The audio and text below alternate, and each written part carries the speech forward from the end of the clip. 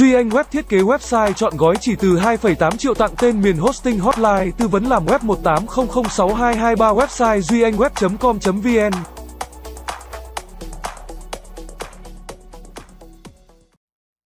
Bệnh viêm phổi là gì, nguyên nhân và triệu chứng? Viêm phổi là bệnh nhiễm trùng đường hô hấp dưới gây nhiều biến chứng nghiêm trọng. Nếu không kịp thời điều trị có thể dẫn đến tử vong cho người lớn lẫn trẻ nhỏ. Một khi bệnh viêm phổi xuất hiện, triệu chứng đầu tiên có thể nhận thấy là sốt, ho đờm đục, đau ngực khi ho. Tuy nhiên, đối với người lớn tuổi đôi khi triệu chứng không rõ ràng dẫn đến việc đi viện trễ. Lúc này việc điều trị sẽ rất khó khăn, đôi khi còn phải nhờ sự can thiệp của máy thở. Nếu tình trạng bệnh trở nên nghiêm trọng hơn, khả năng tử vong là rất cao. Viêm phổi là bệnh đặc biệt nguy hiểm. Dấu hiệu ban đầu của bệnh thường rất âm thầm và dễ nhầm lẫn sang những căn bệnh khác. Đến khi phát hiện bệnh đã chuyển sang giai đoạn muộn, khó khăn cho điều trị. Bệnh viêm phổi là gì? Viêm phổi là viêm các phế nang trong phổi do một tổn thương nào đó gây nên. Hai phế nang chứa nhiều dịch nhầy hoặc mủ. Xuất tiết dịch đường hô hấp trên gây ho đờm, sốt ớn lạnh, khó thở. Bệnh hay gặp nhất là nhiễm trùng bởi vi khuẩn, virus, vi nấm. Viêm phổi có thể ở một vùng hoặc ở một vài vùng, viêm phổi thùy hoặc đa thùy, hoặc toàn bộ phổi. Phân loại bệnh viêm phổi dựa trên nguồn lây nhiễm. 1. Viêm phổi do lây nhiễm ở bệnh viện. Theo nghiên cứu, viêm phổi bệnh viện ở các nước phát triển chiếm tỷ lệ 15% trong tổng số trường hợp nhiễm khuẩn bệnh viện và chiếm 27% xảy ra tình trạng nhiễm khuẩn này ở khoa hồi sức cấp cứu. Tại Việt Nam, các nhà khoa học cũng ghi nhận viêm phổi bệnh viện chiếm tỷ lệ khoảng từ 21% đến 75%. Trong đó viêm phổi do lây nhiễm qua thở máy chiếm đến 90% và được xác định sau thở máy 48 giờ. Đây là một vấn đề rất khó khăn mà các khoa lâm sàng, đặc biệt là khoa hồi sức tích cực phải đương đầu vì khó chẩn đoán. Kéo dài thời gian điều trị, tốn kém rất nhiều chi phí. 2. Viêm phổi cộng đồng. Viêm phổi mắc ở cộng đồng là một bệnh đường hô hấp thường gặp. Có thể tiến triển nặng và gây nhiều biến chứng. Nguyên nhân gây ra viêm phổi cộng đồng phần lớn do vi khuẩn, virus, nấm. Ngoài ra viêm phổi cộng đồng ở trẻ nhỏ thường gặp nhất là viêm phổi hít. Xảy ra sau khi trẻ hít phải thức ăn, chất lỏng hoặc chất nôn vào trong phổi, sặc sữa, sặc cháo. Trẻ bị ho. 3. Viêm phổi do vi khuẩn. Viêm phổi do vi khuẩn là loại viêm phổi thường gặp nhất trong tất cả các loại viêm phổi ở người lớn và trẻ nhỏ. Viêm phổi do vi khuẩn thường không khó để nhận biết và việc điều trị thông thường không quá phức tạp. Theo thống kê, loại viêm phổi do vi khuẩn là phế cầu khuẩn Streptococcus pneumoniae.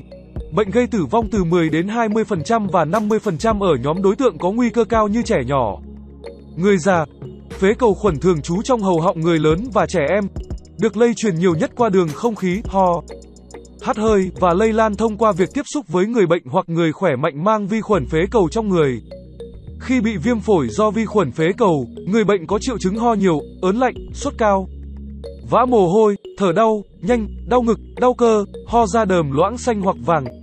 Những triệu chứng này dễ gây nhầm lẫn với cảm cúm thông thường nên dễ bị các bậc phụ huynh xem nhẹ. Bỏ qua dẫn đến hậu quả khó lường, thậm chí tử vong. BS Trương Hữu Khanh, trưởng khoa nhiễm thần kinh, bệnh viện Nhi đồng y, thành phố Hồ Chí Minh cố vấn chuyên môn hệ thống tiêm chủng VNVC cảnh báo Viêm phổi do vi khuẩn phế cầu khuẩn Streptococcus pneumoniae ngày càng gia tăng mức độ đề kháng với các loại kháng sinh nên rất khó điều trị. Cụ thể, trong điều trị viêm phổi do phế cầu khuẩn cho trẻ, bác sĩ phải phối hợp 2 đến 3 loại kháng sinh mạnh ở liều tối đa với chi phí điều trị rất tốn kém mới có khả năng khỏi bệnh. 4. Viêm phổi do virus theo thống kê của Tổ chức Y tế Thế giới WHO, 30% trường hợp viêm phổi ở người lớn và trẻ em đến từ việc nhiễm virus. Đứng thứ hai sau vi khuẩn, có rất nhiều loại virus gây ra viêm phổi như virus cảm lạnh và virus cảm cúm. Duy Anh Web liên tục khai giảng khóa học bán hàng online đa kênh 4.0 cầm tay chỉ việc một kèm một hotline tư vấn khóa học 18006223 website duyanhweb.edu.vn. Do đó biểu hiện của bệnh viêm phổi do virus rất dễ nhầm lẫn với cảm cúm thông thường như sốt, ớn lạnh, run, ho khan, tuy nhiên có thể bội nhiễm và trở thành ho có đờm, chảy nước mũi. Đau cơ, đau đầu, yếu người, mệt mỏi. 5. Viêm phổi do nấm. Viêm phổi do nấm là tình trạng bệnh nhân hít phải bào tử của nấm gây viêm nhiễm. Ảnh hưởng nghiêm trọng đến hệ hô hấp với mức độ phát triển nhanh. Bệnh thường có diễn biến phức tạp nếu không được điều trị kịp thời có thể gây ra những biến chứng nguy hiểm thậm chí thiệt mạng. Ngoài nguyên nhân chủ yếu trên thì những tác nhân như khói thuốc lá, bụi bẩn, hóa chất, Chế độ ăn uống sinh hoạt không đúng cách cũng tạo điều kiện cho bệnh viêm phổi do nấm hình thành và phát triển. 6. Viêm phổi do hóa chất Viêm phổi do hóa chất thường hiếm gặp, ít xảy ra nhưng cực kỳ nguy hiểm vì tỷ lệ gây tử vong cao cho người bệnh.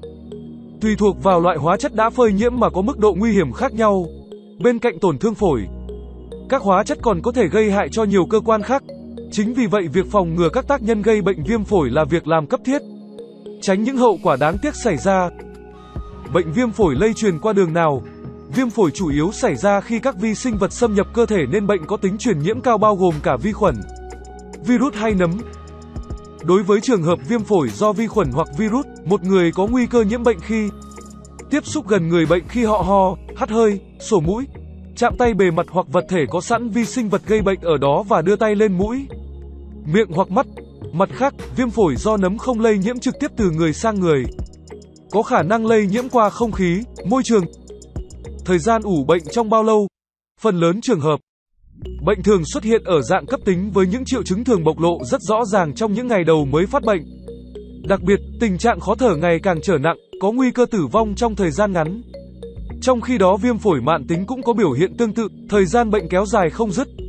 Một người được chẩn đoán bệnh viêm phổi mạn tính khi bệnh kéo dài quá 6 tuần.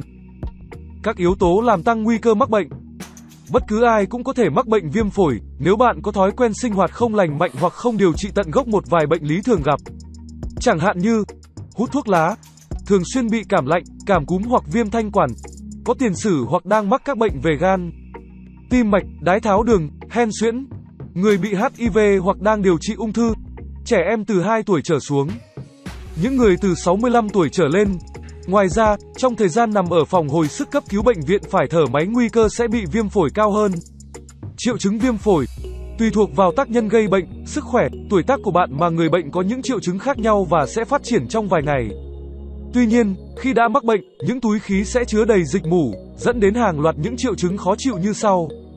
Đau ngực khi bạn thở hoặc ho, ho có đờm hoặc chất nhầy, mệt mỏi và chán ăn, sốt, vã mồ hôi và ớn lạnh, buồn nôn, nôn và tiêu chảy, hụt hơi. Đối với người lớn tuổi và những người có hệ miễn dịch yếu còn có những thay đổi về nhận thức, Tinh thần, nhiệt độ cơ thể thấp hơn bình thường. Theo thống kê của Tổ chức Y tế Thế giới có trên 80% ở trẻ sơ sinh và trẻ nhỏ dưới 3 tuổi bị viêm phổi trong những năm đầu đời. Nhưng phụ huynh rất khó nhận diện được bệnh vì biểu hiện của chúng rất giống với cảm cúm thông thường như bú kém. Bỏ bú, sốt trên 37 độ C hoặc hạ thân nhiệt, thở nhanh trên 60 lần một phút, khó thở, hoàn toàn không có bất kỳ dấu hiệu nào của bệnh nhiễm trùng. Với bệnh nhân không may mắc phải bệnh viêm phổi ở mức độ nặng, tình trạng sức khỏe của bệnh nhân suy giảm cực kỳ nghiêm trọng. Thậm chí, tính mạng của người bệnh có thể bị đe dọa nếu như không được điều trị, xử lý theo phác đồ phù hợp. Với người bệnh nặng, triệu chứng sẽ là sốt cao 39 đến 40 độ, khó thở, nhịp thở nhanh, rút lõm lồng ngực, tức ngực. Nếu xuất hiện những triệu chứng trên, bạn hãy nhanh chóng tới cơ sở y tế uy tín để điều trị nhé. Thông thường, các bác sĩ phát hiện tình trạng bệnh của bạn dựa trên hình ảnh X quang phổi, nếu như một hoặc cả hai bên phổi đều mờ, tổn thương nghiêm trọng thì khả năng bạn đang mắc bệnh rất cao. Như vậy, căn bệnh viêm phổi thực sự nguy hiểm và có thể gây ra những biến chứng nghiêm trọng, ảnh hưởng tới sức khỏe và tính mạng của bệnh nhân. Mỗi người nên trang bị kiến thức cơ bản để tự chăm sóc cho mình, ngăn ngừa nguy cơ mắc bệnh.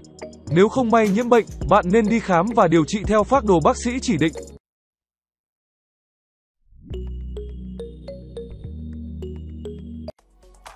Duy Anh Web thiết kế website chọn gói chỉ từ 2,8 triệu tặng tên miền hosting hotline tư vấn làm web 18006223 website duyanhweb.com.vn